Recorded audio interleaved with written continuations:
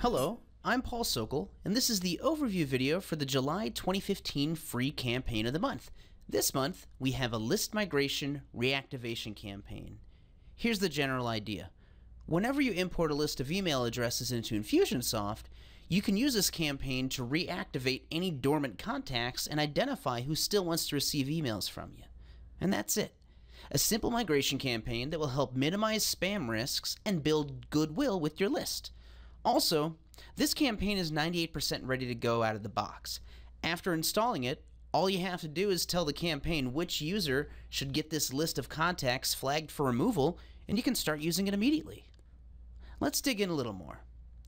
The campaign starts upon adding your imported list into this list migration reactivation sequence. This sequence contains three emails over the course of three weeks to give people plenty of time to respond and continue receiving your emails. The emails themselves are friendly, to the point, and this link is pointing them to the Keep Me On Your List web form.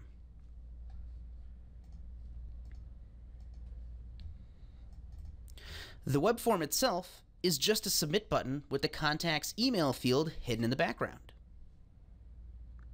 If someone receives all three emails and never asks to stay on your list, they will automatically flow into this flag for removal sequence.